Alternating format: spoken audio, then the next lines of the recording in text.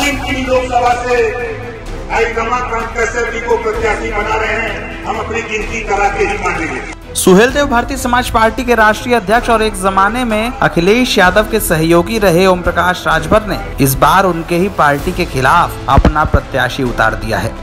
2022 के विधानसभा चुनाव में अखिलेश यादव और जयंत चौधरी के साथ मंच पर तमाम रैलियों को संबोधित करने वाले राजभर ने इस बार अखिलेश यादव की मैनपुरी और जयंत चौधरी की खतौली सीट पर अपनी पार्टी के उम्मीदवारों की घोषणा कर दी है। ये सीटें उपचुनाव के लिए खाली हुई हैं और यहाँ पर 5 दिसंबर को वोटिंग कराई जाएगी। लोकसभा हम अपनी गिनती करा के ही इन दोनों सीटों पर चुनाव के लिए इलेक्शन कमीशन की ओर से अधिसूचना जारी कर दी गई है। खतौली की सीट आरएलडी के खाते में गई है और यहाँ पर जयंत चौधरी अपने किसी करीबी को उम्मीदवार बनाने वाले हैं। वहीं दूसरी ओर मुलायम सिंह यादव के निधन के बाद खाली हुई मैनपुरी सीट पर भी सुहेल देव भारतीय समाज पार्टी ने अपना प्रत्याशी उतार दिया है।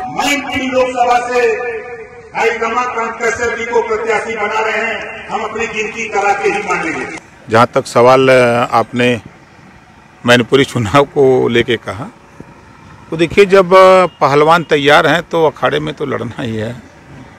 तो तैयारी आप उसको मान लीजिए, नगर निकाय के चुनाव को लेके मान लीजिए या आप आगामी 2024 की तैयारी को लेके मान लीजिए। ओम प्रकाश राजभर की पार्टी की ओर से मैनपुरी की लोकसभा सीट पर रमाकांत कश्यप को प्रत्याशी बनाया गया है। वहीं खतौली की विधानसभा सीट पर रमेश प्रजापति को उम्मीदवार बनाया गया है। पार्टी के राष्ट्रीय महासचिव अरविंद राजभर की ओर से इस संबंध में एक प्रेस विज्ञप्ति भी जारी की गई है। माना जा रहा है की ओम प्रकाश राजभर इन सीटों पर अखिलेश यादव के खिलाफ चुनाव प्रचार करेंगे। फ़िलहाल राजभर किसी गठबंधन का हिस्सा नहीं है और उन्होंने अपनी पार्टी के स्वतंत्र उम्मीदवारों को यहाँ से उतारा है। लेकिन माना जा रहा है कि अगर राजभर इन सीटों पर दमदारी से चुनाव लड़ते हैं तो अखिलेश यादव को इससे बड़ा नुकसान हो सकता है।